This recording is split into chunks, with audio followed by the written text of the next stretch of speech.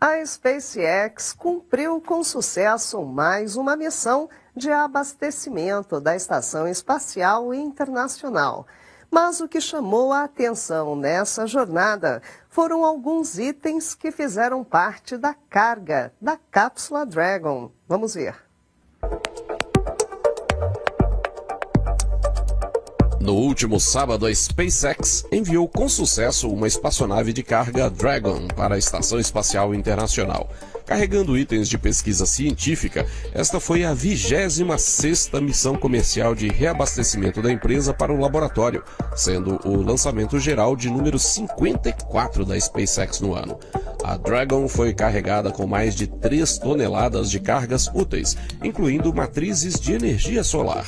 Um microscópio foi levado ao laboratório para observar mudanças nos sistemas imunológicos da tripulação, acompanhado de um hardware para capturar imagens dos olhos dos astronautas. Foram enviados também sementes de tomates anões, em mais uma etapa da série de experimentos VEG. O programa vem explorando o cultivo de alimentos e até de flores no espaço.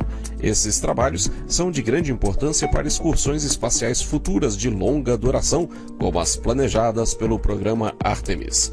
Eles são a base de estudos da NASA para a alimentação dos astronautas ao longo de semanas ou meses, não apenas na Estação Espacial Internacional, mas também futuramente na Lua.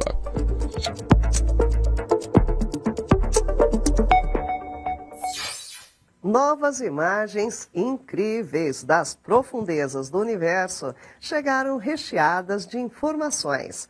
Com elas, os cientistas estão começando a desvendar os segredos da formação que ficou conhecida como teia cósmica.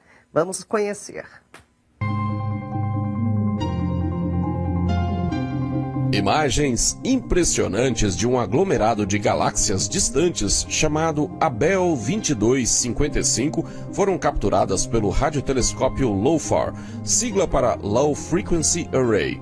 Com elas, os pesquisadores conseguiram informações sem precedentes que podem ajudar a entender essa formação conhecida como teia cósmica. Ela é composta de plasma quente e brilhante, além dos campos magnéticos existentes entre as galáxias. A Bell 2255 está a um bilhão de anos-luz da Terra, na constelação de Draco. As observações foram possíveis graças à combinação de várias antenas de rádio que compõem o LOFAR. Também foi usada uma técnica inédita baseada em uma longa duração de captura sobre grandes proporções de área observada. A partir dessas novas imagens, os pesquisadores acreditam que a teia cósmica passa por frequentes turbulências, que incluem fusões violentas e choques. Tais eventos acabam criando os raios roxos e amarelos que aparecem nos registros.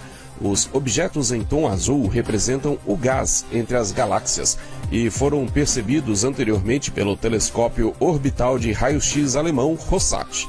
Já o roxo representa emissões de material cósmico do local, com o amarelo sendo o mesmo material em movimento circular de altíssima velocidade.